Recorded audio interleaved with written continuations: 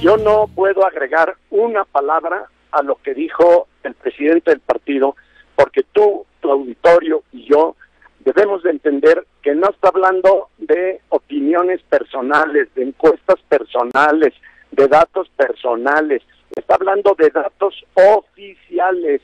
Y conforme al conteo rápido, que es un procedimiento oficial y científico, el triunfo Nacional con Guillermo y por lo tanto no me parece que la solución pueda terminar en que aquí no hubo nada para nadie.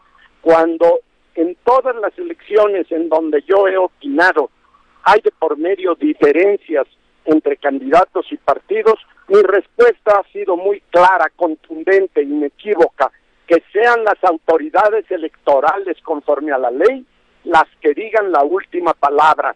Pero en este caso, José, la gravedad no tiene límite, porque es la autoridad electoral es la que está haciendo las trapacerías. Y esto sí ya nos coloca en una situación como ciudadanos y como mexicanos de desastre. Sencillamente es un retroceso de hace decenas de años.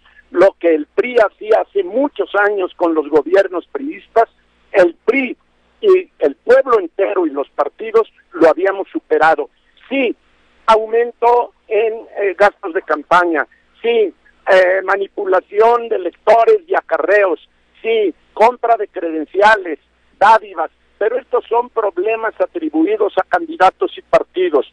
Lo que ya habíamos superado es que el órgano electoral haga este tipo de felonías. Y esto sí indigna y eh, establece una actitud del gobierno que no podemos consentir los mexicanos. El hecho de que todos los candidatos de allá estén reclamando el triunfo del candidato del PAN no nos debe llevar a que aquí no pasó nada, de que todo fue una confusión y de que hay que repetir la elección. A mí me queda claro que lo que está sucediendo en Coahuila es de una atrocidad en el ámbito electoral y en el ámbito democrático que bajo ninguna circunstancia podemos ni vamos a permitir, José.